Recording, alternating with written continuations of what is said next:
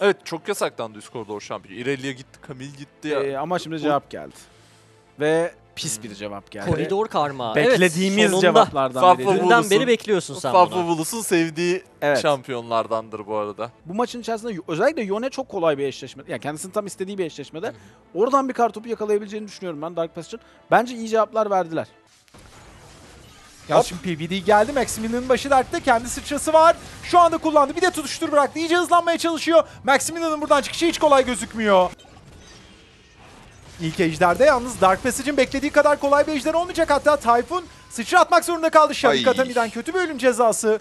Ama Galacticos, Leash için teşekkürler. İlk ejder bizim diyor. Evet.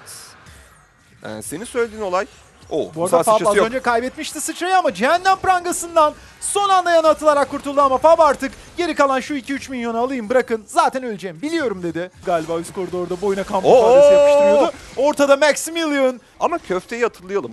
Geçmişten beri. Bu arada bir şeyler olacak burada sanki. Ya ilk ejder Rim'i görüyorum tekrardan. Johnny aynısı yaşanıyor şu anda.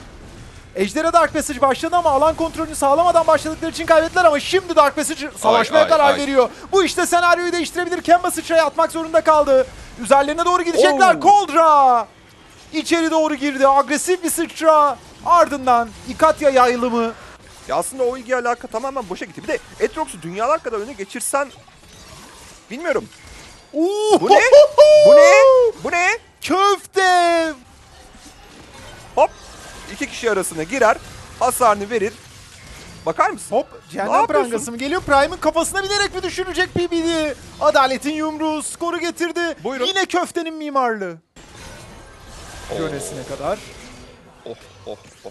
Yo, e, köfte birebir de kestiği oyuncular kervanına iki tane tekli koridordan sonra bu arada skoru PBD almıştı. O skoru köfteye yazdım ben kafamda. Kemba'yı Evet da doğru. ekledi. Doğru. Aynen öyle. Tam orası o. 7000 altınlık üstünlük. Oho. Ama ya. Klasik değil mi ama? Ya inanılmaz. Köfte tek başına sırtını aldı götürdü maçı. Evet. Çok, çok keyifli ya. Kule altı yapabilir bu arada çok rahat.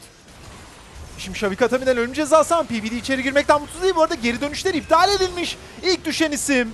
Burada Tumay oluyor. Galacticos 1-1 eriyor. Kemba da ön saflarda sıçra atmak zorunda kaldı Ay. ama Udyr sıçra tokat kombosu sersemletmeyi bıraktı. Kemba taklayla uzaklaşsa da Bu sırada. maçın şu ana kadar yıldızı köfte.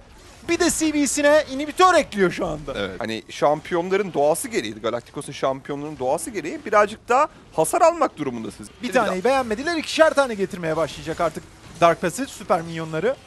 Sadece sabırlı oynamalı lazım. Köfte yakalandı ama yani Yok. umurunda bile değil Şavik Atami.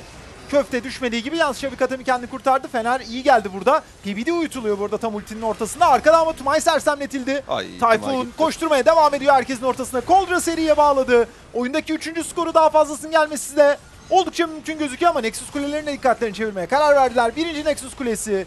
ikinci Nexus kulesi de düşecek. Köfte içeride bu arada. Kemba'yı da eritti bir kez Tek. daha. Koldra da skor tabelasına bir kez daha adını yazdırıyor. Ama bu galibiyeti köfteye yazmamız lazım. Evet.